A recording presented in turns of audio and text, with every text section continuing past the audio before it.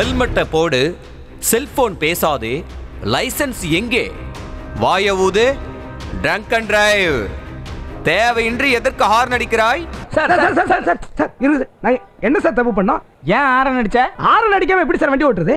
Bike ரேசிங்கா என பல ரூல்ஸுகளை கூறி ஐநூறு ஆயிரம் இரண்டாயிரம் என அபராதத்தை தீட்டும் போலீசார் அத்தனை ரூல்ஸுகளையும் அனைவருக்கும் சமமாக போடுகிறார்களா என்றால் அதற்கு இல்லை என்பதே வாகன ஓட்டிகளின் பதில். டாக்குமெண்ட்ஸ்னா? இன்சூரன்ஸ். இன்சூரன்ஸ் நேக்கா நோக்கா பைக்கா? பைக்குக்கு. பைக்குக்குனா இந்தாங்கோ. ஆர்சி புக் ஆர்சி புக் இந்தாங்கோ. ரோட் டாக்ஸ் ரோடே இல்ல டாக்ஸ் கேக்குறேன் இந்தாங்கோ.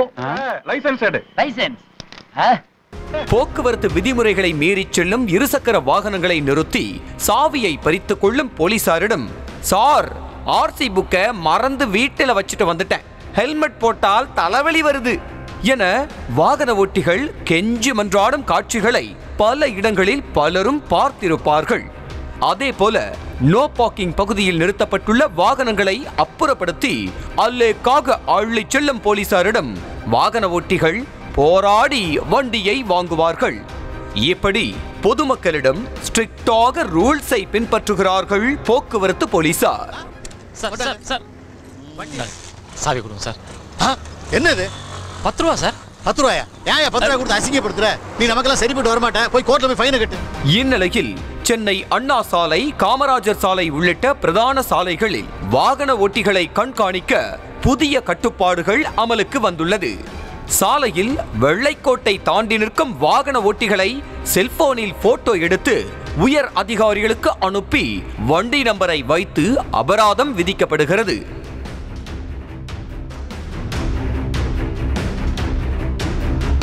ஸ்டாப் என போடப்பட்ட வெள்ளைக்கோட்டை இம்மி அளவு தாண்டிய அத்தனை வண்டிகளையும் வளைத்து வளைத்து போட்டோ எடுத்து ஜூம் பண்ணி அபராதம் விதிக்கும் போலீசார். அந்த வண்டிகளுக்கு அருகேயே கோட்டை தாண்டி அவ்வளவு பெரிய அரசு மாநகர பேருந்து நிற்கிறது. ஆனால் அதே போட்டோ எடுக்கவே இல்லை. ஏன்? அதையும் எடுக்க வேண்டியதுதானே அந்த வண்டியும் விதியை மீறித்தானே நிறுத்தப்பட்டுள்ளது? என்பதே பலரது கேள்வி.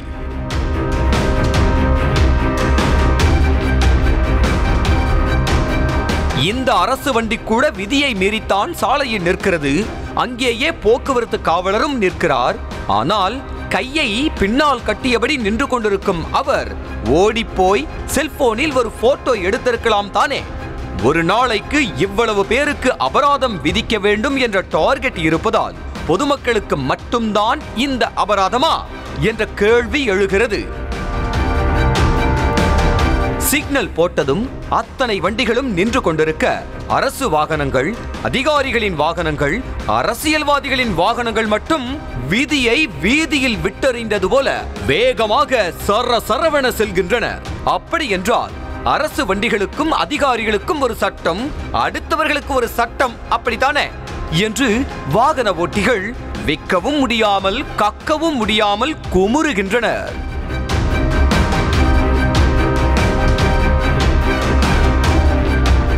பம்பர் பொருத்தினால் விபத்து ஏற்பட்டாலும் வாகனத்திற்கு சேதமாகாது.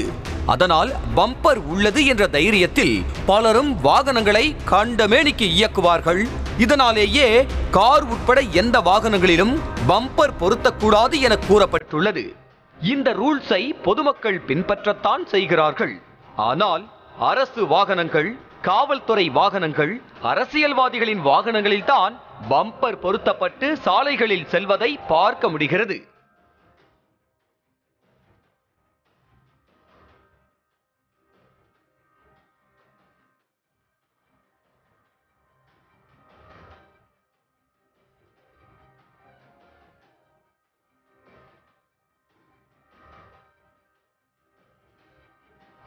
மாறாக விதிகளை மீறுவதே அதிகாரிகள் தான் இவர்களுக்கு யார் கடிவாளம் போடுவது பொதுமக்களை ஒழுங்குபடுத்துவதற்கு முன்னால் நாம் அதை பின்பற்ற வேண்டும் என்பதை அவர்களுக்கு யார் அறிவுறுத்துவது என்பதே பலரது கேள்வி.